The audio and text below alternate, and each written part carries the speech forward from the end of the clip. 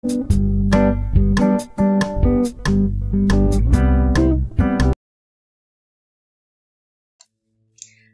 dan Iwan adalah dua anak yang bersahabat.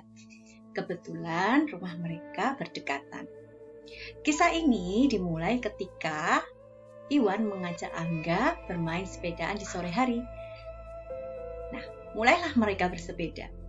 Mereka bersepeda mengelilingi komplek perumahan yang mereka tinggali. Sesampainya di suatu tempat, tiba-tiba Iwan menghentikan laju sepedanya. Angga, sini, bisik Iwan kepada Angga. Apa sih, Angga? Apa sih? Uh, Wan, kata Angga. Eh, lihat. Itu mangga miliknya Pak Ahmad. Baru berbuah. Yuk, kita ambil buahnya. Bisik Iwan kepada Angga. Iwan bermaksud mengambil mangga tanpa izin. Nah, semula Angga tidak paham apa yang dimaksudkan oleh Iwan untuk mengambil. Ternyata Iwan mengambil e, mencari sebatang kayu gitu atau ranting untuk uh, mengambil mangga milik Pak Iwan. Nah, Angga terkaget-kaget. Berarti kita mencuri dong, isi Angga. Ah, biar aja. Kalau kita minta pasti nggak akan diizinkan oleh Pak Ahmad. Pak Ahmad itu kan terkenal pelit orangnya. Bisik Angga, bisik Iwan pula kepada Angga. Bagaimana anak-anak menurut anak-anak semua? Apa yang dilakukan Angga? Apa yang seharusnya dilakukan oleh Angga dan Iwan? Nah, apakah itu perbuatan jujur? Bagaimana pula dengan uh, pendapat uh, mereka tentang Pak Ahmad? Nah, itu tadi adalah sepenggal cerita yang biasanya dialami anak-anak dalam kehidupan bertetangga. Bagaimana dengan anak-anak? Pasti punya cerita yang lain, bukan? Nah, kali ini Miss Wiska akan menjelaskan di materi pertama uh, tentang kehidupan bertetangga. Tapi sebelumnya, Miss ucapkan salam dulu ya. Assalamualaikum warahmatullahi wabarakatuh. Long time no see. Ya, sudah lama kita nggak berjumpa. Meskipun uh, lewat uh, online ya kita masih belajar lewat video maupun jumpa zoom dan mengerjakan worksheet tetapi uh, Miss Yuska yakin bahwa anak-anak masih tetap bersemangat bukan begitu oke anak-anakku sekalian yuk kita sama-sama menyaksikan atau menyimak slide dari Miss Yuska berikut ini oke ya oke in this semester in the first uh, meeting we will learn about cooperation in neighborhood. Apa itu? Yaitu kerjasama di lingkungan tetangga. Oke, apa itu? Tetangga adalah orang yang bertempat tinggal di lingkungan sekitar rumah kita. Seperti yang anak-anak dengar tadi, kisah di awal dari Miss Wiska bahwa Angga dan Iwan adalah dua anak yang bertetangga. Jadi rumah mereka berdekatan gitu ya. Nah, selanjutnya apa itu kerjasama? Kerjasama adalah usaha bersama untuk mencapai tujuan bersama.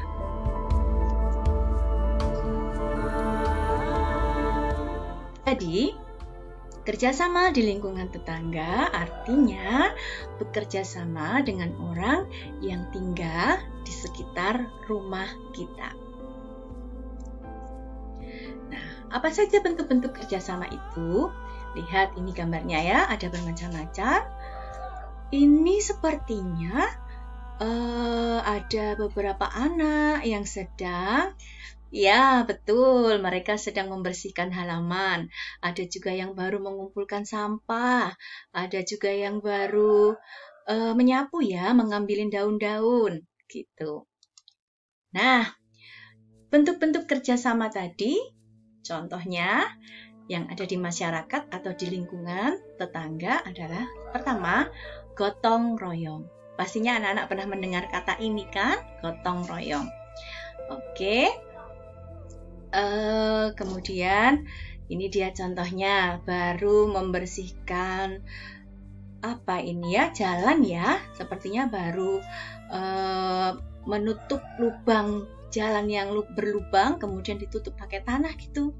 Nah atau sedang me, memasukkan kaleng-kaleng bekas ya dikubur ya. Dikubur atau ditutup dengan tanah karena kalau musim hujan seperti ini sangat riskan. Nanti dia bisa ditunggui atau bisa untuk uh, hidup nyamuk. Karena itu seperti kaleng-kaleng yang terbuka itu harus ditutup harus dibuang uh, atau bisa juga dengan dikubur seperti ini Oke, selanjutnya siskamling. Pernahkah Anda mendengar seperti ini?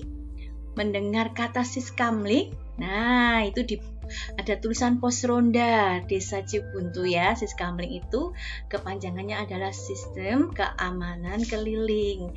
Biasanya ayahmu atau uh, anak lelaki yang sudah dewasa yang ada di rumah itu setiap beberapa hari sekali ada tugas untuk keamanan, keamanan menjaga lingkungan pada malam hari di suatu kampung mungkin, di perumahan, di komplek perumahan dan sebagainya.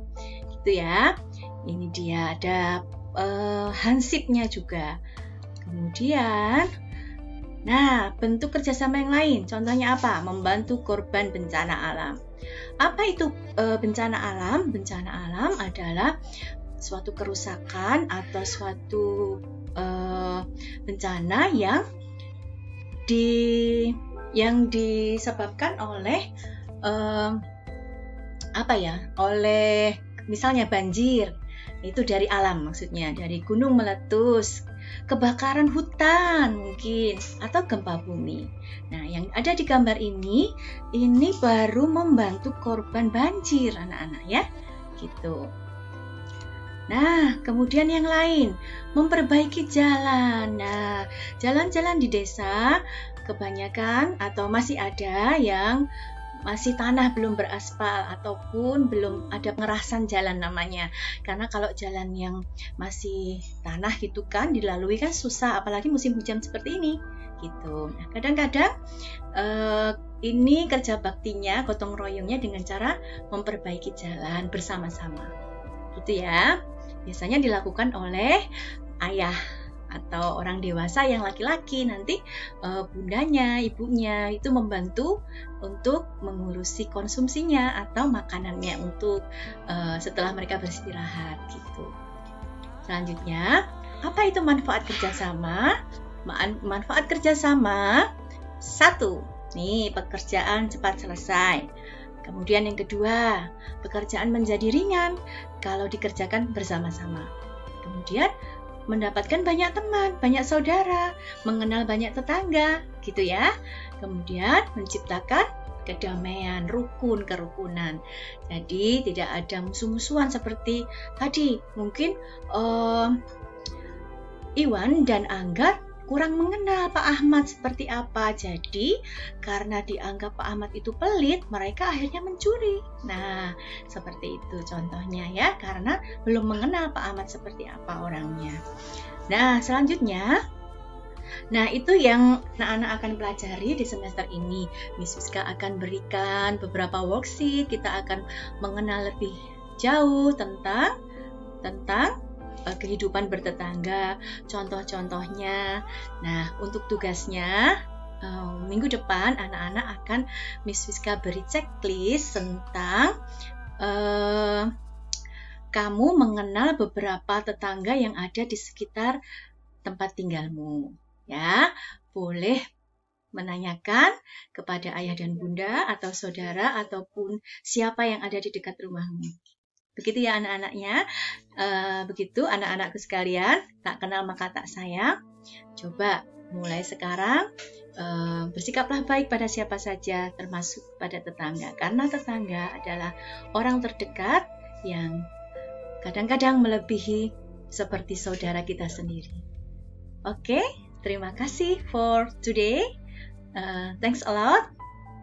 See you next week. Assalamualaikum warahmatullahi wabarakatuh. Bye-bye.